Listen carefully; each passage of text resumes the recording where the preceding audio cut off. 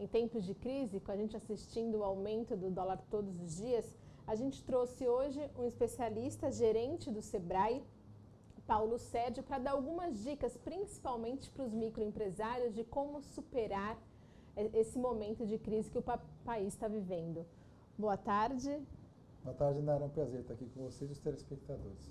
Prazer é nosso. E, e para começar, eu queria que você falasse um pouco dessa da crise né, em plano nacional que a gente está vivendo. Como que o Brasil pode superar esse, esse momento tão difícil que as pessoas estão começando, de repente, a sentir agora no, no bolso, nas, nas suas empresas? A gente percebe no dia a dia, seja pela televisão, pela, pelo jornal, pelo rádio, né, toda essa, a gente percebe que o, que o momento é um momento diferente da nossa economia, um momento de turbulência, um momento diferenciado. O que a gente precisa, e a gente, como a gente trabalha, o nosso foco é sempre é, trabalhar com o empresário, aquela pessoa que tem o seu negócio, aquela pessoa que empreende ou que quer empreender, a gente sempre dá é, dicas para ela poder superar isso, passar por esse momento uhum. tranquilamente. Porque o objetivo de, de uma empresa é ter seu lucro, trabalhar para isso, é, crescer junto com a sociedade, é, ter mais funcionários, ter uma equipe de colaboradores uhum. que possam cada vez mais ser empreendedores internamente da empresa e contribuir com os tributos para a cidade, para a gente poder fazer uma cidade melhor, uma região melhor. Então, para isso, a gente tem os nossos cursos, nossas palestras, as nossas oficinas diariamente lá no nosso escritório regional, uhum. fica aqui na Avenida na Costa 418 em Santos. Temos também uma unidade móvel do Sebrae, que a gente circula pelas nove cidades. Então, tem semana que estamos em Bertioga, outra semana estamos em Guarujá, São Vicente, PH, em toda a região do Baixada Santista nós estamos.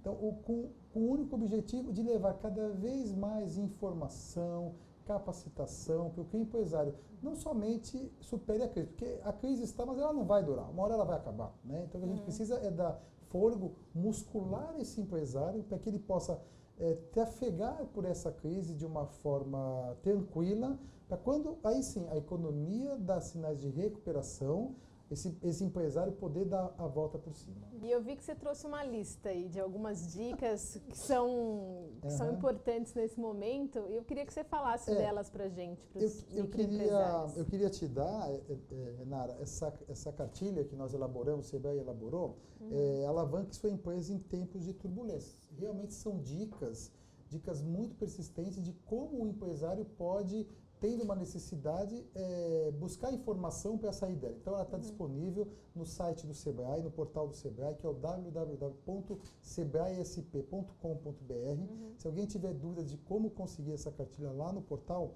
é, ligue para nós no 3208-0010 ou no 0800 570 0800. Então, uma cartilha que tem diversas atenção às oportunidades e apostas no futuro, comunicação intensa com a equipe, mão na massa, de olho no caixa. Então vamos pegar aqui assim algumas perguntas que poderiam é, o, que o nosso telespectador pudesse ter pudesse encontrar nessa cartilha.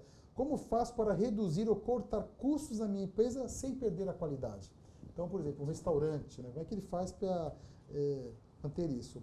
Ou outra, os clientes habituais estão consumindo produtos mais baratos do que eu posso oferecer. O que eu faço para reconquistá-los?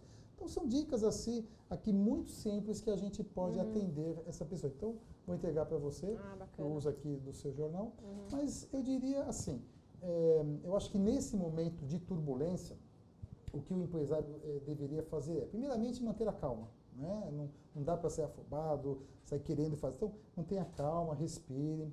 É, olhe para dentro da sua empresa, revise os seus processos, veja é, como é feito um, o processo do seu comércio, o processo da sua prestação de serviço. Como você pode reduzir custos, reduzir gastos, é, diminuindo uma. É, economizando na luz, trocando de fornecedor um produto. É, como é que você pode manter, assim, reduzir um pouco esses gastos? Porque Existem dois, duas possibilidades de você aumentar o, o, o, lucro da sua empresa. Ou você conquistando um novo mercado, né, conquistando um novo cliente, ou você reduzindo os gastos que você tem na empresa. Tá ótimo, Paulo. Muito obrigada pelas dicas. A gente espera que tenha ajudado os nossos internautas, telespectadores a superar esse momento de crise e, e saber como fazer isso uma oportunidade também, que é o que a gente falou, né? É, eu agradeço sua presença e espero vê-lo mais vezes. É um prazer, Nari. Sempre que tiver o convite, virei aqui no Boqueirão News.